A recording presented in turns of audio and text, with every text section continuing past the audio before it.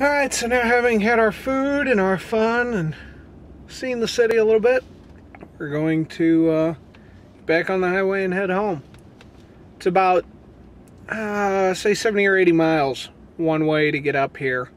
But on the highway, uh, because we've got the highways built uh, so straight and, and because our highways are so good, it only takes about uh, a little over an hour to get down here. So it's uh, really not that big a deal to come up to the city and visit, but once you get here, uh, everything can be a little expensive depending on where you go.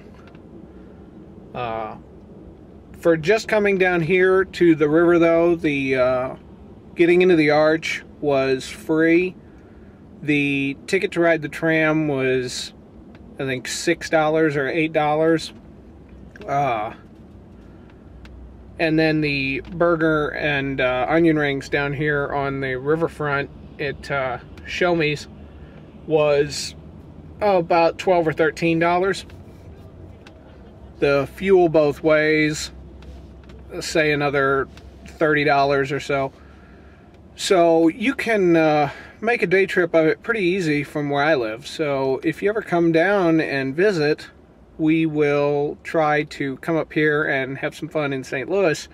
That way uh, you've got some better stories to tell when you go home than, well, I just went out to the country to see my friend.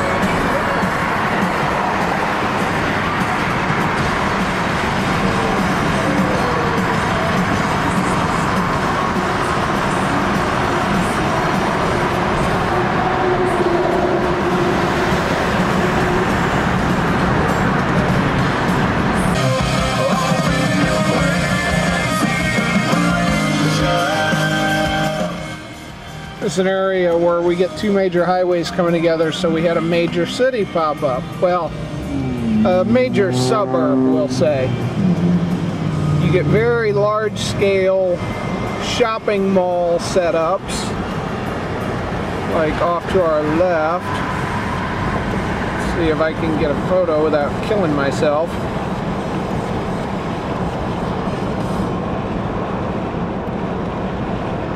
Basically in America, anywhere two highways come together, you get towns pop up, and the larger towns get, the more the highways used, and the more the highways used, the larger the towns get. So, as long as there's new business coming into an area, you'll get bigger and bigger cities. As long as there's work. Once there's no more work, uh, things tend to collapse pretty quickly. You hear about cities like Detroit and uh, areas in Pennsylvania where the business they used to do was in steel for making cars. And now that American car makers aren't doing so well and aren't doing their business there anymore, those areas like uh, Detroit especially are really collapsing and it's a problem here in America.